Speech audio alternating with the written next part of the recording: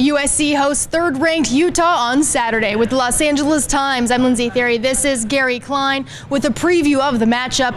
Gary, USC's 3 and 3. Utah is undefeated. At the beginning of the season, I don't think anybody thought this would be the scenario halfway through the season.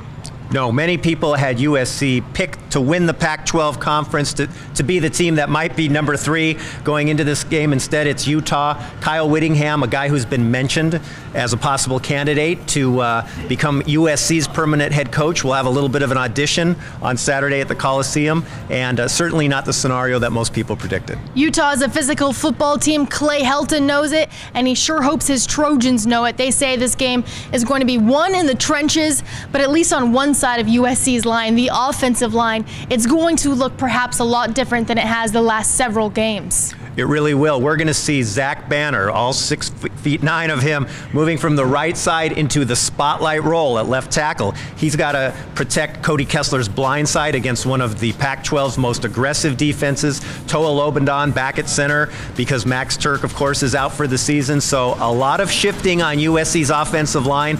It doesn't bode well going against a team like Utah. And freshman Chuma Edoga, he'll be sliding in there at right tackle. Now, you mentioned Cody Kessler, two games, each with two interceptions. He's thrown as many interceptions at this point in the season as he did all of last season. What does Kessler need to do to get back on track? Well, he needs to make better decisions, I think, in terms of not forcing the ball into certain situations. Against Notre Dame, one of those picks, he had one on one coverage with Juju Smith. It was a beautifully thrown ball, but the defensive back just made a spectacular play. The other one, maybe uh, you know an error in judgment. So he's got to get back to not playing it so safe that he won't let pull the trigger, but he's got to make some better decisions because, as you mentioned, we're halfway through the season. He's got as many interceptions as he had all of last year. USC's defense will have its work cut out.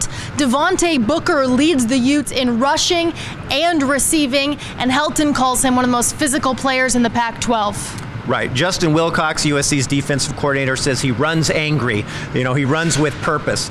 And uh, n- number three in the conference in rushing he complements quarterback Travis Wilson very well. And Wilson is no easy task to bring down either at 6'7, 230 pounds, a guy that wants to run the ball as well. What are going to be keys for USC's secondary? A few big plays given up last week.